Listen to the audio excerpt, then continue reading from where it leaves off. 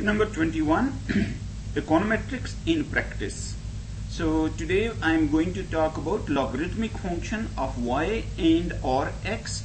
Why do we take log? First of all we, uh, we need to understand this. In general we take log of a function if a data may become uh, linear from non-linear. May become.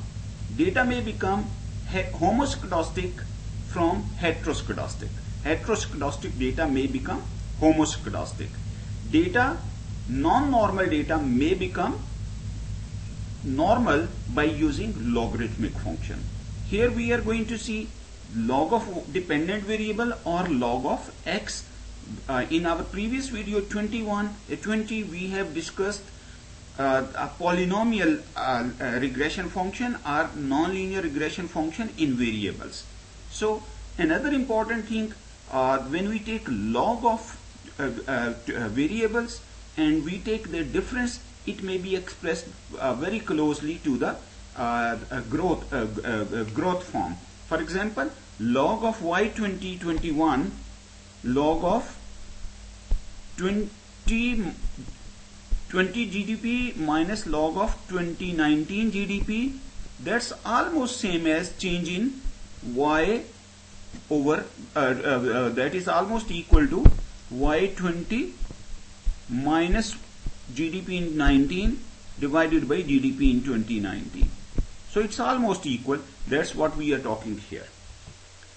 If the time period is short, then it's very close approximation. If time period between two uh, uh values get large, uh, for example y20 and uh, y2010 GDP, then, then it may not be that good approximation. So here we are going to discuss three cases. In each case, you have a different interpretation of a coefficient. yi equal to beta naught beta 1 log of xi. So in this case, a interpretation of beta 1 is different. Log of yi, beta naught beta 1 xi, different interpretation of beta 1. Log of yi, log of xi, different interpretation of beta 1. And uh, moreover, when we take log of y and you have log of y here, their r squares are comparable because total sum of square is based on log of yi. But log of yi and log of yi, their r square is not comparable because total sum of squares in this case is based on uh, yi and in this case it is log of yi. Whereas we know numerator is always explained sum of squares or regression sum of squares. So this uh, this changes from this uh, first form to another one so if your dependent variable is not of the same nature, two models R square is not comparable. Now let's go and see the first model, linear log. In this case, we take log of x only and the rest before and after that we have discussed already in our previous videos. It's almost beta 1 is equal to change in y due to percent change in x. Change in y due to percent change in x and this will be interpreted as delta y over change in uh, percentage change in x, a 1% increase in x is associated with a 0.01 change in y, beta 1. Delta y will be equal to 0.01 beta 1 unit. So that's that's how we increase, uh, how we how we interpret it. For example, we take log of income. So it means that if income is changed by 1% there will be an increase in test score by 0.642 units. R square will the standard error they, uh, they have standard interpretation. So here you have log linear log and cubic log. So you see how close approximation this linear log is to cubic log when you have district income and test score. So by taking log, you, you have uh, reduced a third degree polynomial x1, x1 square, x1 cube. Instead of that, you have just taken log of x and you have regressed y on log, uh, log of x. So it's simple. So and uh, it's it's um, simple to interpret, and secondly, it consumes less degree of freedom. Log of y equal to beta 1 x so its interpretation will definitely change by the, uh, the, uh, the percentage change in x the y divided by change in x. And that means that 1% a change in x one unit will lead to 100 beta 1% change in y. So you can look into the, uh, these uh, bullets and you can understand it. Next one is the most commonly used and very simple to interpret that is beta 1 is elasticity.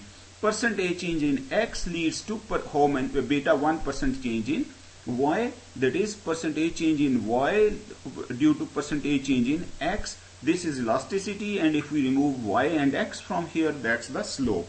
So there is a difference between slope and elasticity. And if you take y bar and x bar that is elasticity calculated at means. So that's a 1% change in x is associated with a beta 1% change in y and beta 1 is here elasticity. Beta 1 has the interpretation of an elasticity.